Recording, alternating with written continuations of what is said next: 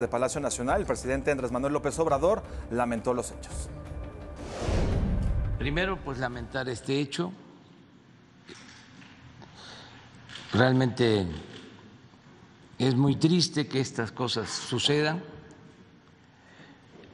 y eh, enviar nuestro pésame a los familiares y acompañado del pésame también el compromiso de hacer la investigación y de castigar a los responsables. En Jalisco se registró otra agresión.